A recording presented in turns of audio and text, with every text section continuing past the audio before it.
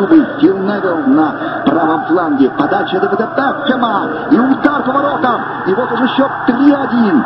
3-1. 62 минута. Ники Бат. И забрежила надежда. Играть еще очень долго. 62 минута. Удар.